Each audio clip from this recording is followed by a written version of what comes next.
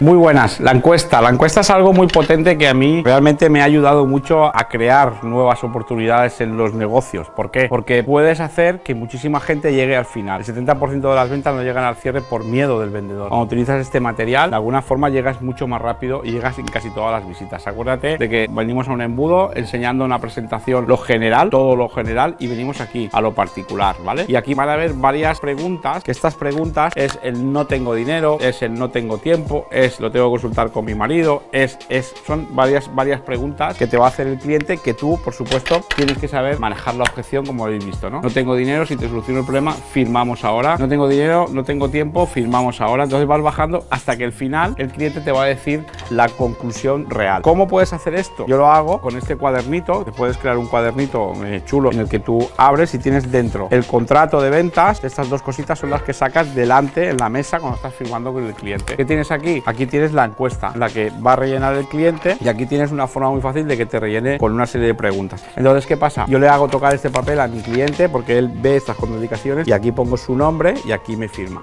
como que estas contraindicaciones no las tiene. El primer punto que acabo de conseguir aquí es que el cliente se familiarice con mi carpeta, con mi documentación, porque aquí está el contrato para que después me lo firme. Entonces él se siente a gusto y no se siente tenso a cuando yo le diga después, pues bueno, firme aquí para recibir el pedido. No se va a sentir tenso porque ya ha tocado esto, mi boli y hasta incluso mi mi, carpeta mm, con tiempo, ¿vale? Entonces, después aquí en esta misma encuesta, yo tengo aquí un blog para pedir las referencias y otro blog para pedir los referidos. Y cuando todo eso lo tenemos, pues entonces ya pasamos a la venta. Pero primero acordaros, referencia, referido. Después le das la vuelta a la hoja y aquí tienes una encuesta, una encuesta de opinión, que es muy fácil. Entonces, ¿cómo lo hacemos? Pues le preguntamos, bueno, ¿dónde nos has conocido? Y aquí tienes la encuesta. Aquí, ¿qué te ha parecido la, explicación del, equipo? Pues larga, buena, corta o mala.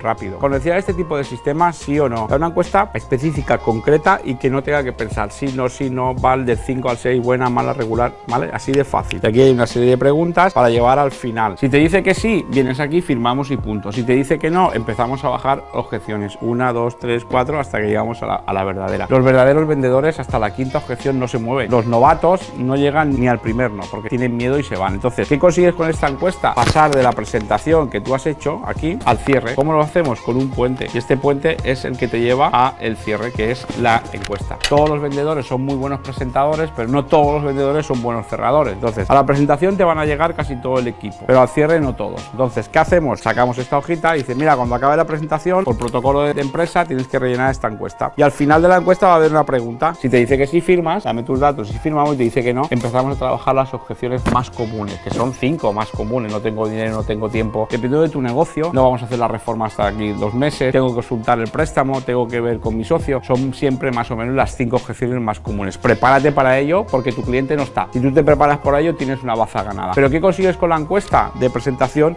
Pasar a encuesta. Es brutal, es brutal los resultados que se obtienen porque en todas te llevas algo. En todas te llevas o referencias o referidos o ventas. Cúrrate esto, ten a mano el contrato y ten a mano, si utilizas financiera, ten la mano. Y aquí nosotros llevamos tres copias. Una para dársela al cliente, una para dársela a la empresa y otra para quedársela al comercial. Con el lomo, con el registro mercantil, con la, la ley de protección de datos, todo correcto, ¿vale? Para que esto sea lo más real posible, ¿ok? Espero haberte ayudado, campeón. Nos vemos pronto. Chao, chao.